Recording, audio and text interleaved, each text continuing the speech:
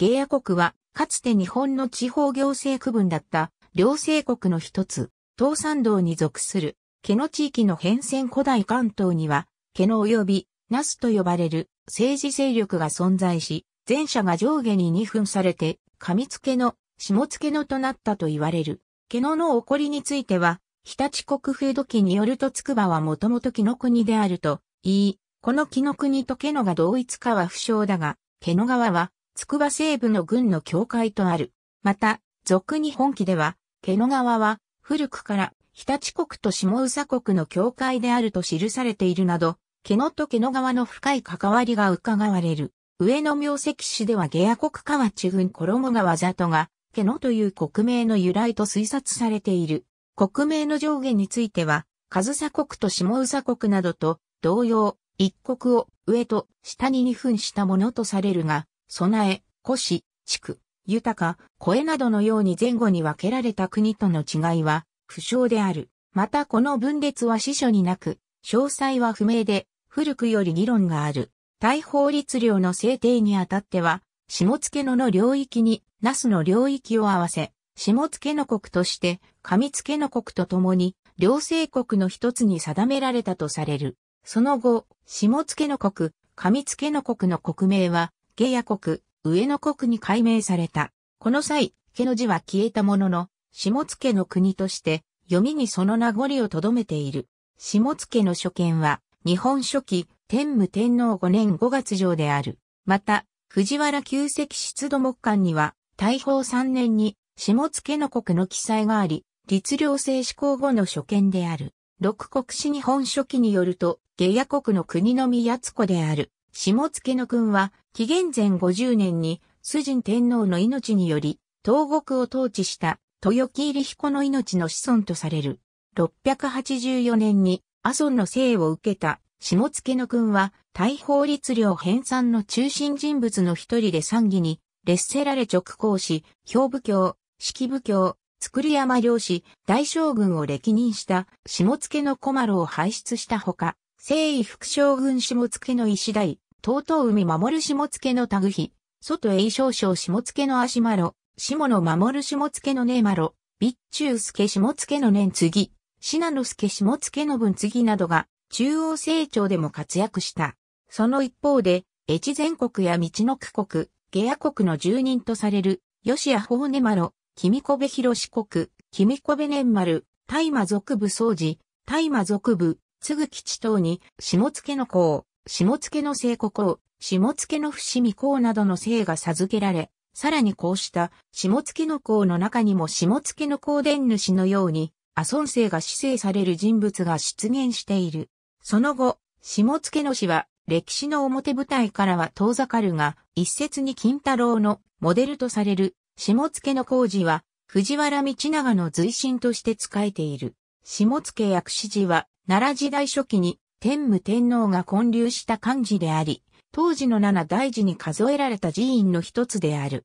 両時代天平記に定められた、所持根伝地言では、下付薬師寺の根伝は500丁とされ、奈良の大和国部金光明寺、元号寺、大安寺、薬師寺、幸福寺、法華寺、幸福寺、法隆寺、新薬師寺、県教寺、河内の四天王寺、大見の宗福寺、筑紫の関税恩寺と並び、中央成長に管理されていた。また、平安時代中期の874年、平安慶史神殿で60人の僧により3日に、渡って行われた大般若経の天読会に際しては、近時に王教71部が5期出動各国に一部ずつ配置される中、太宰府関税恩寺、武前国未六寺と、並び下津契約指示にもそのうちの一部が配置されるなど、平安時代においても当時が、鎮護国家政策の一環として、漢字の位置づけにあったことが狙いわれる。下付薬師寺は、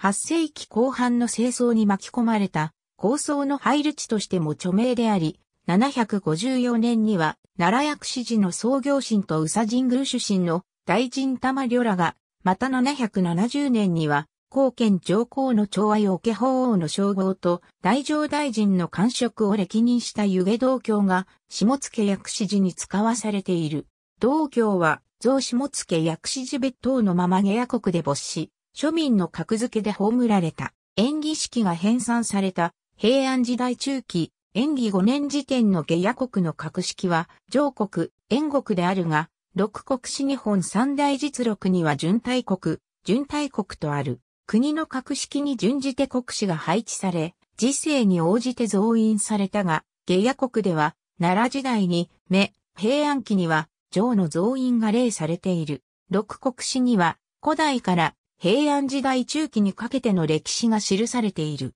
下野国家では、以下のような出来事があった。天行年間に、平野正門を討伐して、下の守となった藤原秀里は、横領氏を兼任し、子は、津賀郡の小山城に位した。第十二代、小山智正は、下野国の大族である、宇都宮浅綱、那須宗隆と共に、源頼朝に従軍して、功を挙げ、那須宗隆は、那須一軍を賜り、宇都宮浅綱の子孫は、宇都宮にいし、小山市と入れ替わりで、下野守に任ぜられ、吉吉両党はその参加に隷属した。小山智正の弟である宗正は、長沼に城を置き、子孫はここにいして、長沼市を称した。源義家の孫である義康は、足利軍で生計を立て、八代、足利高氏に至る。現行の乱の末期、高氏は兵を率いて成城し、官軍に振って警視を服した。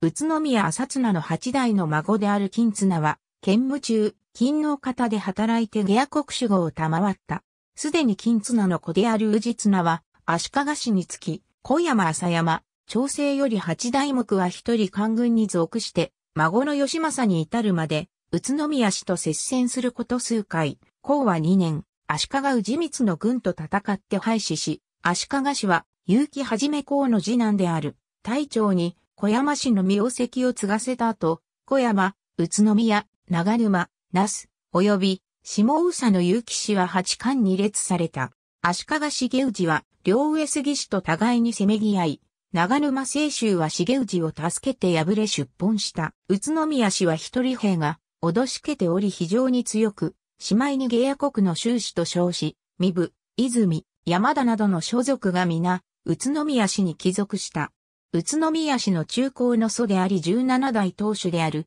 宇都宮重綱は、五北条氏での北条総雲のような戦国時代を生き抜くための革新的な思想、戦略的野望を抱いていた英主だと言われており、聖綱の優れた才能によって家臣団を再編し、古学坊の内紛に介入したり、佐竹氏、岩木氏、足名氏などと戦い宇都宮氏の勢力を大きく拡大し、全盛期を築き上げた。しかし、聖綱が没した後は、家臣らとの対立が激しくなり、宇都宮氏は大きく衰退していくことになる。さらに天文年間、那須氏と戦って大敗し、所属は皆那須氏に帰属してしまう。また、北条氏が下野国南京を攻略し、宇都宮氏は衰退した。豊臣氏の統制では、那須氏の地を治め、那須家臣の大関高蔵を黒羽に、大田原春木を大田原に封じ、那須氏にはわずか、福原のみを与えた。宇都宮国綱は一人その旧法である18万7千余席を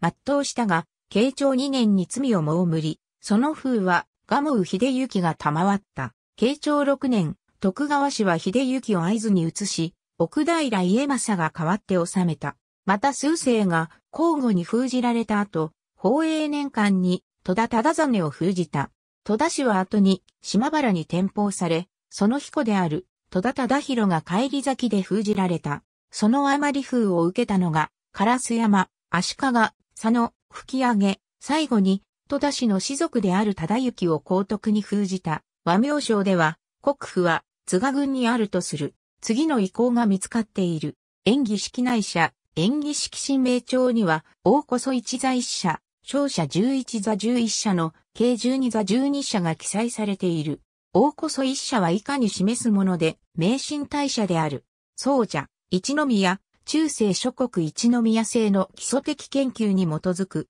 一宮の一覧。領域は現在の栃木県とほぼ同じだが、群馬県桐生市の内桐生川伊東を含む。かつては栃木県は下野国と完全に同一の範囲であったが、昭和34年に栃木県足利郡菱村が昭和43年に阿蘇郡田沼町の入彦町区が、いずれも桐生市へ越境合併。また、昭和35年に群馬県山田郡山川村の一部が栃木県足利市に編入され、旧上野国との境界が変更されている。そのため、栃木県の方が、芸野国より、わずかに狭くなっている。内閣統計局、編、早見徹、復刻版監修会来、国勢調査全日本人口統計修正巻1、及び、別館1、東洋書林、下野守、編集下付助、編集下付城、編集、